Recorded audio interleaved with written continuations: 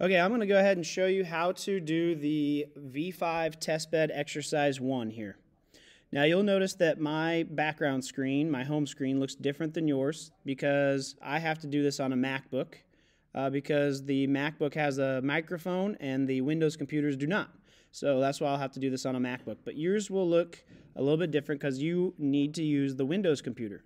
It's the same icon though. It's this red square. It says V5, has the black V. That's what you want to open up. Yours will probably be down here in the bottom left corner somewhere. You're going to use your mouse and make the pointer go on top of it and then double click with the mouse. If you don't know how to use a mouse, there's a left button and a right button. You want to click the left button two times on this icon and it will open up. When it opens up, hopefully it looks something like this. Now, if you have connected your brain correctly, your brain icon right here will turn green. If it is yellow or red, you need to raise your hand and let me know because it, you, your code will not work no matter what if this is yellow or red. No, even if you have it written perfectly, uh, yellow or red means your computer is not communicating with the brain correctly.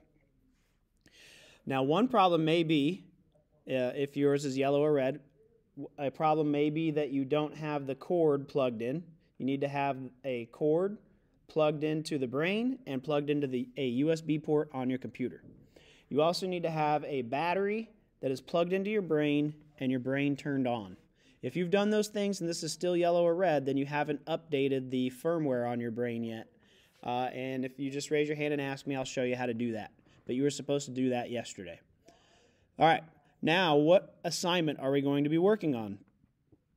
If you open up the module section of Canvas here, you want to find the assignment called V5 Testbed Exercise 1. You could also go to the assignment section if you want, but that's the one you want, V5 Testbed Exercise 1. All right, we are going to accomplish these three things right here. Number one, we are going to run motor 1 clockwise at 50% velocity for five seconds and then stop it. Now, the stop is a command that we will have to use. Sometimes kids forget the stop part, but it is an important part of the code.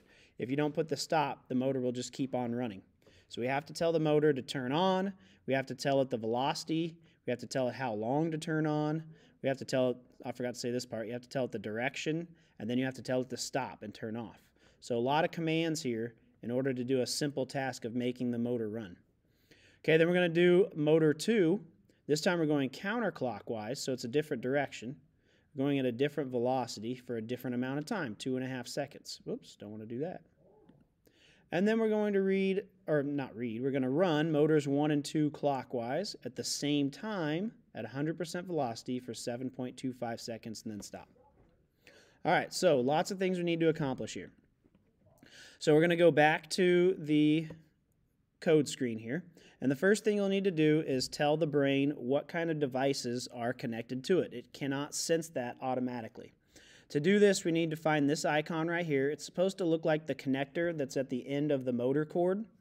Uh, it, and that kind of connector is also used in an old school uh, landline, uh, if you've ever seen one of those. It's how the phone plugged into the wall.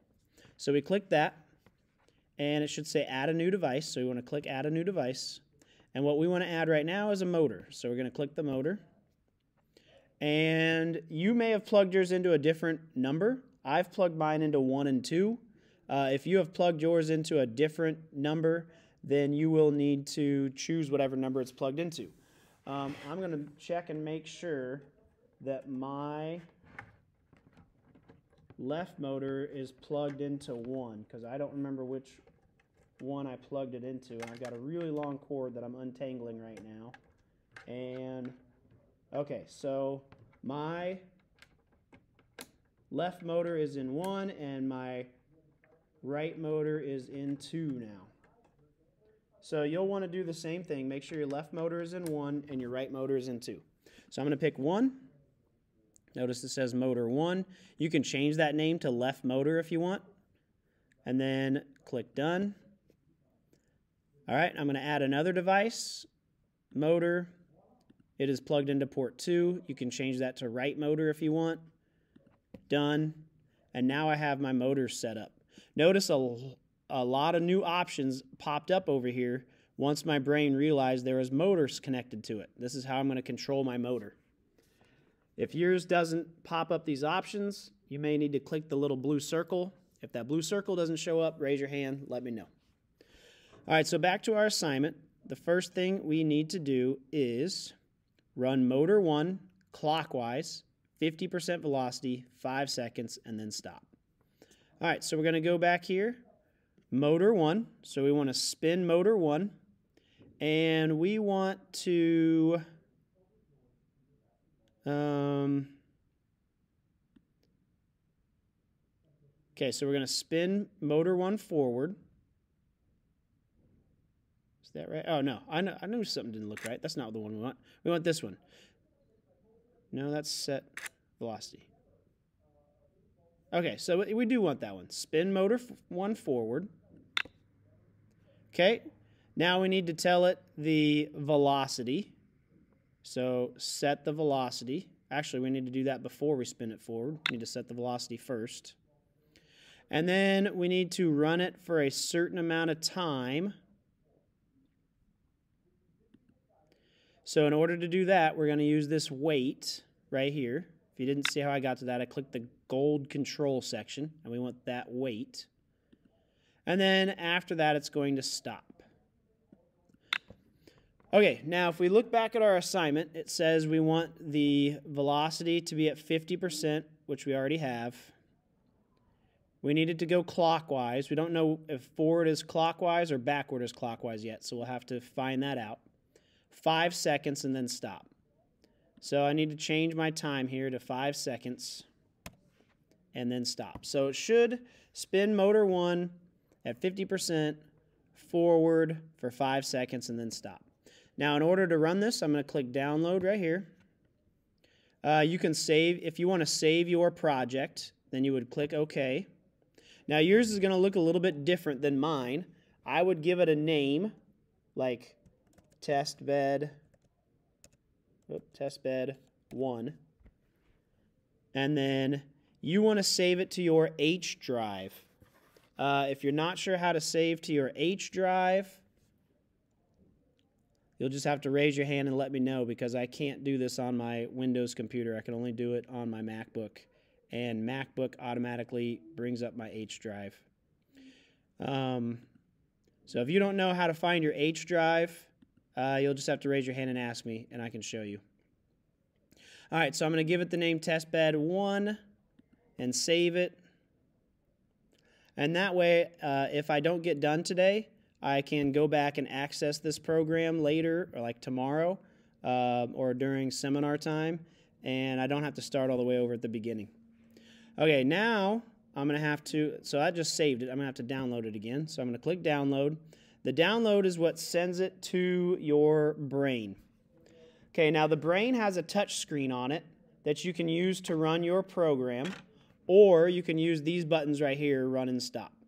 So I'm going to click the run button right here and you'll probably hear the motor running. And it is going clockwise. It was the left motor and it went clockwise. So we guessed correctly. Now, if your motor goes the wrong direction, well, first off, if it's not the left motor, let me go back and check and make sure it said left motor. Oh, it just says motor one, not left motor. Okay, so we're on motor one, so that'll work. So motor one ran at 50%, now, if it ran the wrong direction, you'll click here and click reverse. And then anytime you make a change to your code, you have to download it to your brain.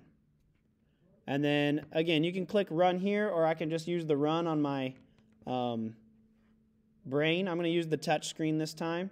Click run, and it is going the opposite direction. Now, sometimes in the past, we've had issues with if a student chooses forward or reverse, it still does not change the direction. And I don't know why that happens. But if that happens to you, what you can do is change this from 50 to negative 50. And that will also make it go the opposite direction. So I'm going to download it. Now notice I changed this back to forward, but my velocity is at negative 50%. And if I run it now, it goes counterclockwise. So you can change the direction either way. You can change the velocity to a negative number, or you can click this and change it to reverse. I don't know why some of them work when I change this direction and some of them do not, but that is uh, what you'll want to use right there. All right, so we've got the first part. Oh, wait, I've got it running the wrong direction, so I'm going to change that back to 50. Okay, now the second part, we need to run motor 2.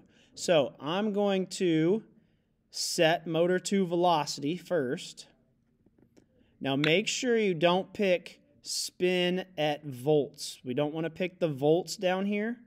Uh, that, for whatever reason, makes the motors lock. So do not pick this one with volts. Always pick the velocity that has the percent at the end. Okay, so this one's going to be motor 2. Uh, it was 75%. And we want it to go the opposite direction, so I'm going to spin, or I'm going to click spin motor, make sure I change this to 2, and I'm going to choose reverse. And this one, I don't remember how long it was supposed to go. Run motor 2, 75%, two and a half seconds. so I'm going to click gold, find my wait, change it to 2.5, and then make sure you put into stop it and choose motor 2. All right, so we've made a change to our code, so we need to download it and then run it.